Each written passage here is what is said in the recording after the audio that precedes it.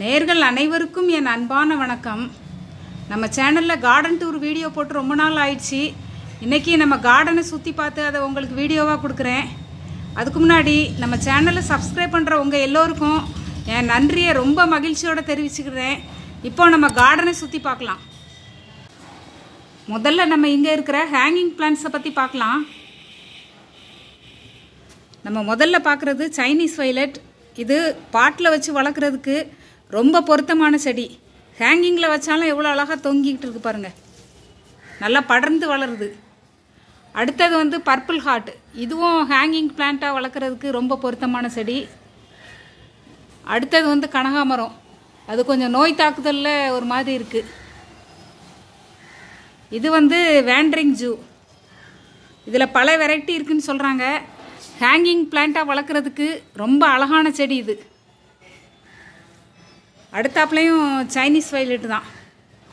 பாருங்கள் சின்ன தொட்டியில் தான் இருக்குது ஆனாலும் ஒரு புதர் மாதிரி வளர்ந்து அழகாக இருக்குது பாருங்கள் அடுத்தது வந்து டேபிள் ரோஸ் அது ஒரு வாட்டர் பாட்டிலில் வச்சு இந்த மாதிரி தொங்க விட்ருக்கேன் அப்புறமா நம்ம கீழே பார்த்தா இந்த நிழலில் அதாவது காலையில் மட்டும் வெயில் படுற மாதிரி சில செடிகளை நான் வைக்கணும்னு உங்களுக்கு சொல்லுவேன். அந்த மாதிரி வச்சுருக்கேன். இது வந்து நம்ம பன்னீர் ரோஸை நர்சரி கவரில் இருக்க மண்ணெல்லாம் ரிமூவ் பண்ணிவிட்டு நம்ம நடவு செ- பண்ணி வச்சுருக்கிறது. இது வந்து பொன்னாங்கண்ணி கீரை. இதுவும் ஒரு நாட் ரோஸ் பதியம். அதுவும் பொன்னாங்கண்ணி கீரை. இது வந்து சங்குப்பூ செடி. இது புதுசாக வாங்கின சாமந்தி செடி. இந்த மாதிரி செடிகள் எல்லாம் காலையில் மட்டும் இந்த இடத்துல வெயில் படும். அதனால் இப்படி வைப்பேன். இது கூட அப்படி வச்சது தான் இது ஒரு மணி பிளான்ட் இது பேர் வந்து மனசுக்குள்ளே கிடக்கு வரல இப்போதைக்கு.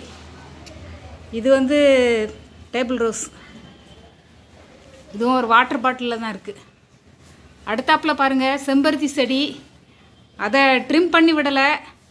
அதை வேறு மண்கலவு செஞ்சு மறுநடவு பண்ணால் நல்லா வந்திருக்கும். நான் அதை பண்ணலை அதனால தான் கொஞ்சம் வீக்காக நிற்குது அடுத்தாப்பில் பாருங்கள் போகன் வில்லா. ஒரு எவர் சில்வர் ட்ரம்மில் பெருசாக இருக்குது அடுத்தாப்பில் பாருங்கள் கனகாமர செடி. இதுவும் வேறு மண்கலவை செஞ்சு நடவு பண்ணி வச்சதுனால நிறைய பூத்துருக்கு. சாமந்தி செடி நிறைய பூத்துது. இப்போ பூக்கள்லாம் காஞ்சிருக்கு அதை ட்ரிம் பண்ணி விடணும். இது வந்து இக்ஸோரா இட்லி பூ செடி இன்னும் பூக்கலை. அடுத்ததும் ஒரு போகன் வீலா தான். இங்கே பாருங்கள் ரெண்டு கலர். இது ஒரு கலர் இது ஒரு கலர். ஆனால் ரெண்டுமே ஒரே வெரைட்டி தான். அடுத்தாப்பில் பாருங்கள் ஒரு தங்கரளி செடி. அடுத்தாப்பில் பாருங்கள் இதுவும் ஒரு வின்கா அடுத்தாப்புலையும் ஒரு போகன் வில்லா அது ஒரு வாட்டர் கேனில் இருக்குது அடுத்தாப்புலையும் ஒரு போகன் வில்லா தான் ஒரு சின்ன தொட்டியில் இருக்குது இதுவும் ஒரு போகன் வில்லா தான் ஒரு பெயிண்ட் பக்கெட்டில் இருக்குது அடுத்தாப்பில் வந்து இது சளி பிரச்சனைகளுக்கெல்லாம் யூஸ் பண்ணுற ஆடோதோடாங்கிற செடி. ஒரு மூலிகை.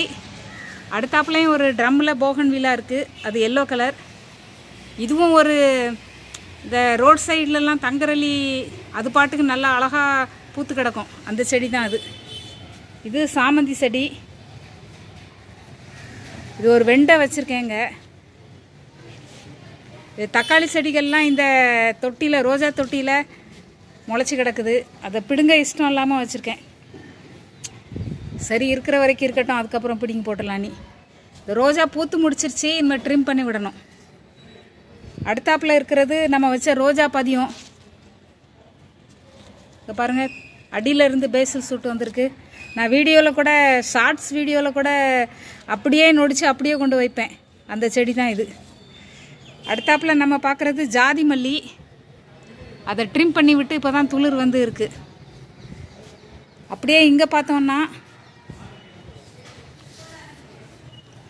அந்த ஹேங்கிங் வந்து அருந்து விழுந்துருச்சு. அதனால் கீழே இருக்குது இது ஒரு மல்லி செடி. இது வந்து ஒரு அவரை செடி.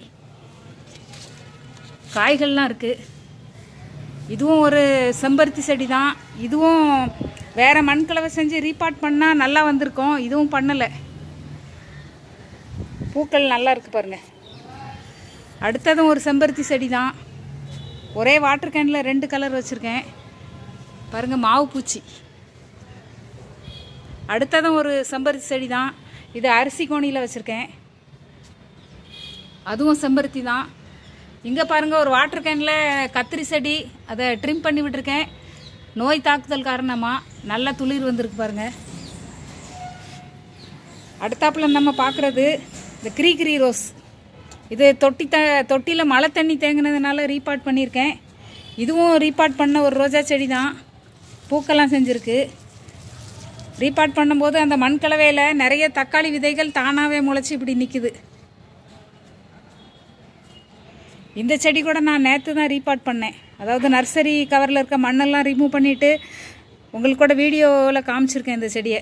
நேற்று ரீபாட் பண்ணியிருக்கேன் இதை பற்றி நான் வீடியோ கொடுக்குறேன். அடுத்தது வந்து பன்னீர் பட்டன் ரோஸ் ட்ரிம் பண்ணி விட்டு நிறைய மொட்டுகள்லாம் வச்சுருக்கு. அந்த சைடு கொஞ்சம் பூக்கள் இருக்குது இங்கே பாருங்கள் இதுவும் ரீபாட் பண்ண நாட் ரோஸ் தான்.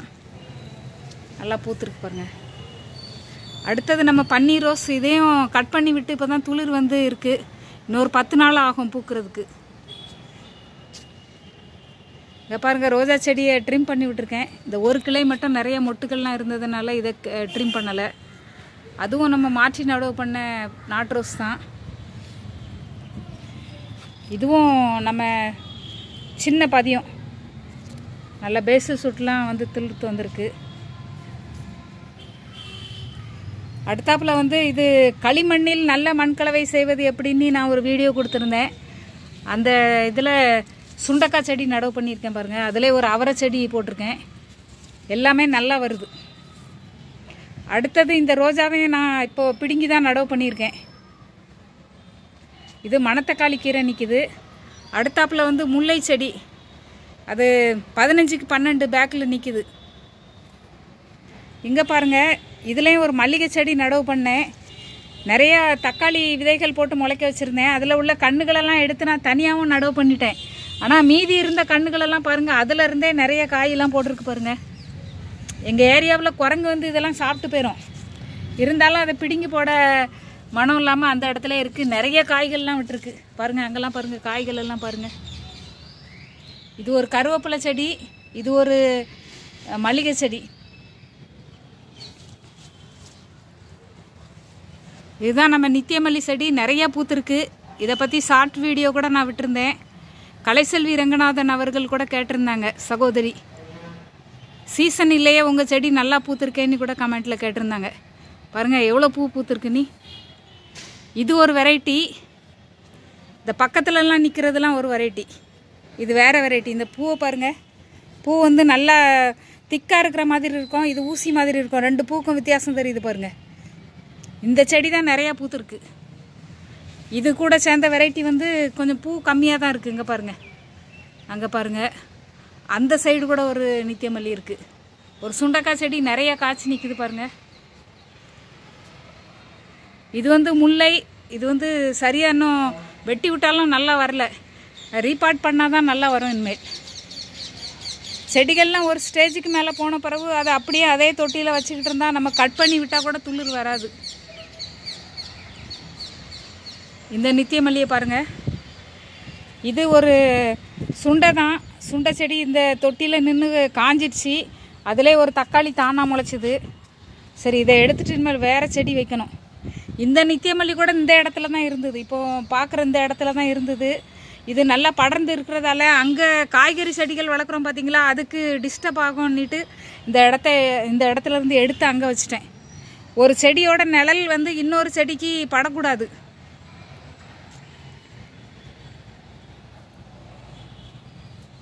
இது புதுசாக போட்ட கத்தரி செடி முள் கத்தரி என்ன வெரைட்டி முள் கத்தரின்னு தெரில இது நம்ம ஒரு நாலு நாளைக்கு முன்னாடி வீடியோ கொடுத்துருக்கேன். இதுக்கு புண்ணாக்கு தண்ணிலாம் ஊற்றி பராமரிப்பு பண்ணோம். இந்த கருவேப்பிலை தான் ரொம்ப நாள் வளரலன்னி இப்போ கேனில் மாற்றி வச்சேன். அதுக்கப்புறம் துளிர் வந்திருக்கு. அந்த மண்ணுலேருந்தே நிறைய கீரைகள் தானாக முளைச்சிருக்கு. இது நம்ம ட்ரிம் பண்ணி விட்ட முருங்கை. இது கூட அங்கே ஒரு மருதாணி செடி இருக்குது அதில் ஒரு டப்பில் புதுசாக அவரை போட்டிருக்கேன். இதில் வந்து இந்த மூலிகை கீரை இந்த பிருங்கராஜ்னு சொல்கிறாங்கல்ல அந்த அந்த கீரை. தமிழில் இது என்னது? கரிசலாங்கண்ணி. இதில் இது வெள்ளை இது வந்து மஞ்சள். இதில் மல்லிகை செடி இருக்குது அதில் இந்த முடக்கத்தான் கீரையும் இருக்குது சரியாக இதை பராமரிக்கலை. இது ஒரு ரோ- நாட்டு ரோஸ் செடி தான். பெரிய செடியை தான் இதில் சின்ன தொட்டிக்கு மாற்றி வச்சுருக்கேன் கட் பண்ணி. மிளகா விதைகள்லாம் போட்டு நல்லா முளைச்சி நிற்கிது அடுத்தாப்புல நம்ம காய்கறி செடிகள் எல்லாம் பார்க்கலாம். அதுக்கு நீ நம்ம தனியாக செட் அடித்து வளர்க்குறோம் இப்போ.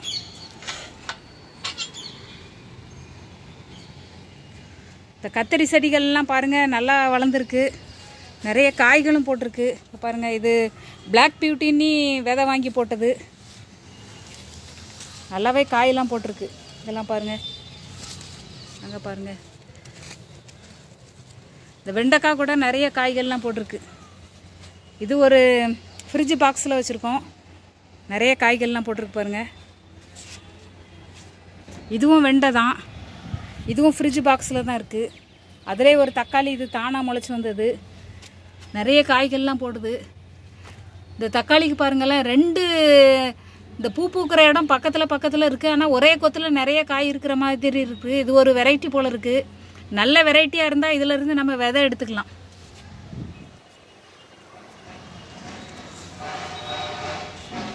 அடுத்தாப்பில் பாருங்க. சிறகவரை கொடி வந்து அந்த அளவுக்கு ரொம்ப படரலை ஆனாலும் பாருங்க வரிசையாக பிஞ்சுகள்லாம் போட்டுட்டு இருக்கு பாருங்க. பார்க்குறதுக்கே ரொம்ப க்யூட்டாக இருக்குது இங்கே பாருங்கள் தக்காளி செடி பாருங்கள் இது வந்து அவரை செடி இது வந்து காராமணி பச்சை காராமணி நிறைய காய்க்குது. நீங்கள் உங்கள் கார்டனில் இது வரைக்கும் காராமணி வளர்க்கலன்னா கண்டிப்பாக இந்த பச்சை காராமணி வளங்க. நிறையவே காய் போடுது. இந்த அவரைக்காயை பாருங்களேன் எவ்வளோ கொத்து கொத்தாக காய்ச்சிருக்கு நீ.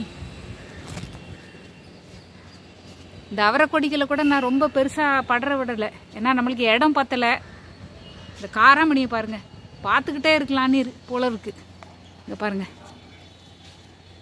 இந்த தக்காளி பழத்தை பாருங்கள் ஹார்வெஸ்ட் பண்ணணும். இது வந்து வெண்டை செடி.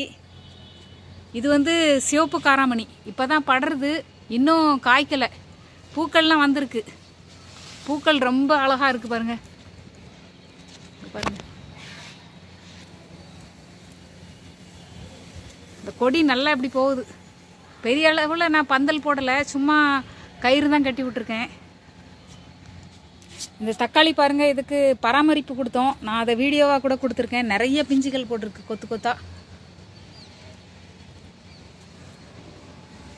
அடுத்தது ஒரு கத்திரிக்காய் செடி இருக்குது அதிலே ஒரு வெண்டைக்காயும் இருக்குது இதுவும் ஃப்ரிட்ஜ் பாக்ஸில் தான் இருக்குது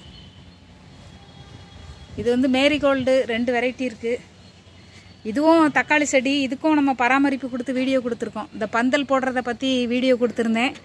பார்க்காதவங்க அந்த வீடியோவை பாருங்கள் உங்களுக்கு யூஸ்ஃபுல்லாக இருக்கும். தக்காளியை வந்து அது இஷ்டத்துக்கு சேர்த்து பிடிச்சி கட்டக்கூடாது. நம்ம நல்லா பரவலாக அப்படி கட்டி வச்சாதான் அது காற்றுலாம் படும். இங்கே பாருங்கள் பிஞ்சுலாம் கொத்து கொத்தாக பிடிச்சிருக்கு பாருங்கள் இப்போ தான் நல்லா வளர ஆரம்பிக்குது. நல்லா காய்க்கும்னு நினைக்கிறேன் இந்த ஃப்ரிட்ஜ் பாக்ஸில் இருக்கிறது. இது பாருங்க இது வந்து கோவக்காய் செடி. இதில் வச்சுருக்கேன் இந்த ட்ரம்மில் அது கயிறு கட்டி விட்டோம்னா அங்கே ஆல்ரெடி பந்தல் இருக்குது இதில் அப்படியே படர விட்டுடலாம் பந்தல் தெரியுதா பாருங்கள் அங்கே வரைக்கும் போட்டிருக்கேன். வெர்டிக்கலாக இதில் ஒரு கத்திரிக்காய் வெரைட்டி இருக்குது ரொம்ப பூச்சி தாக்குதலாக இருக்குது இந்த வெள்ளை கத்திரிக்காய் கூட நான் பிளாக் பியூட்டின்னு சீடு வாங்கினது தான் இந்த மாதிரி காய்க்குது. இதில் ஒரு சப்போட்டா இருக்குது இங்கே பாருங்கள் ஒரு வெண்டை இருக்குது அது என்ன வெரைட்டின்னு தெரியாது. ஆனால் பாருங்கள் அந்த எவ்வளோ உயரமாக போய் காய்ச்சிருக்கு? நீ பெரிய பெரிய காயாக இருக்குது இது ஒரு பெரிய பிளாஸ்டிக் ட்ரம்மில் தான் இருக்குது நான் நம்ம கார்டனில் இருக்கிற செடிகளுக்கு எல்லாத்துக்குமே வீட்டில் கிடைக்கிற இயற்கை உரங்கள் மட்டும்தான் கொடுக்கேன். பூச்செடிகள்னா கூட நான் கெமிக்கல்லாம் யூஸ் பண்ணுறதே கிடையாது. நீங்களும் உங்கள் கார்டனில் இயற்கை உரங்களே பயன்படுத்துங்க. எந்த செடி வளர்க்குறதா இருந்தாலும் பரவாயில்ல. தொட்டி அளவு மட்டும் கொஞ்சம் தாராளமாக நம்ம எடுக்கணும். அப்படி எடுக்கும்போது தான் ஒரு செடி வந்து தரையில் நின்னா எப்படி செழிப்பாக வளருமோ அந்த அளவுக்கு செழிப்பாக வளர முடியும். அதே மாதிரி இடைவெளியும் விட்டு விட்டு வைக்கணும். நீங்கள் வரிசையாக பார்த்துக்கிட்டே வரலாம். ஒரு ஒரு செடிக்கும் நான் எவ்வளோ இடைவெளி கொடுத்துருக்கேன்னு நீங்கள் பார்க்கலாம். பெரிய பெரிய கார்டனர்ஸ்லாம் இதை செய்கிறது கிடையாது. ஒட்டி ஒட்டி வைப்பாங்க. ஒரு ஸ்டாண்டு செஞ்சால் கூட எத்தனை பாட்டு அடுக்கலான்னு தான் சொல்லுவாங்க. அப்படி அடுக்கவே கூடாது. ஒரு செடிக்கும் இன்னொரு செடிக்கும் இடையில ஒரு குறிப்பிட்ட அளவு நல்லா விஸ்தாரமாக இடம் கொடுக்கும்போது தான் அந்த செடியால் நல்லா வளர முடியும். உரம் மட்டும் முக்கியம் இல்லை. அதுக்கு இடைவெளியும் ரொம்ப ரொம்ப முக்கியம். இதையும் நீங்கள் தெரிஞ்சுக்கிட்டு உங்கள் வீ வீட்டு கார்டனையும் அமைங்க. நம்ம கார்டன் மாதிரி உங்கள் கார்டனும் ரொம்ப அழகாக இருக்கும். இந்த வீடியோ ரொம்ப பிடிச்சிருக்கோன்னு நினைக்கிறேன். உங்களுக்கு பயனளிக்கும் விதமாக இருந்திருக்கோன்னு நான் நம்புகிறேன் நீங்களும் அப்படி நினச்சிங்கன்னா என் சேனலை சப்ஸ்கிரைப் பண்ணுங்கள் உங்கள் நண்பர்களுக்கெல்லாம் ஷேர் பண்ணுங்கள் மறக்காமல் உங்கள் கருத்துக்களையும் கமெண்ட் செக்ஷனில் பதிவு பண்ணுங்கள் நன்றி வணக்கம்.